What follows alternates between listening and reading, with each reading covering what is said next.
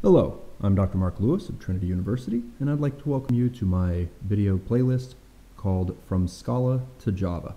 Now, this is a little bit backwards for most Java tutorials.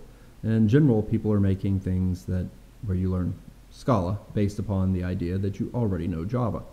However, at Trinity, we teach the Scala language as our introductory language, and our students still need to learn Java at some point, and so this video series is intended to introduce them to that.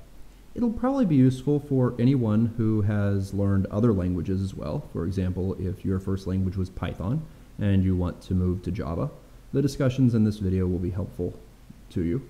Um, I'm also going to cover aspects of Java 8, and so a number of people might find it useful for just moving into the Java 8 area as well. So First thing you have to do is we have to get you set up to make sure that you have what you need. Um, the Oracle website, the URL that I normally use is actually java.oracle.com, which of course gets forwarded to this site for Oracle. We will be referring to the APIs regularly. You will want to have Java installed, so you might go and download the Java 8 SE uh, version. Most of my coding, though, I'm not going to do command line. I'm typically going to work inside of Eclipse, and so you want to have a version of Eclipse helpful to you.